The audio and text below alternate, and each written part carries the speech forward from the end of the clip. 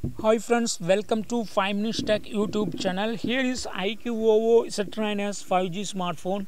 In this video, you will learn how to turn off keyboard typing vibration that is letter typing vibration in your phone IQOO Z9s 5G. First of all, go to the typing interface and when you type, when you press each key, there will be some small vibration you will experience if you have already turned it turned it on. Okay. So suppose if you would like to turn off this keyboard vibration keyboard typing vibration yes you can do it.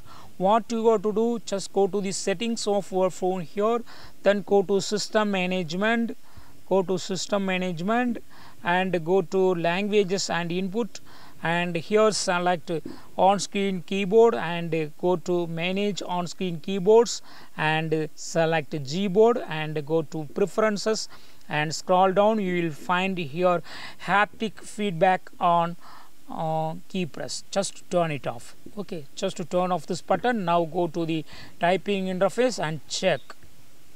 When i type here i feel no vibration because vibration is already turned off. Okay. So in this way you can easily turn off uh, typing keyboard typing vibration in your phone iq z9s 5g that's all friends. Thanks for watching. Bye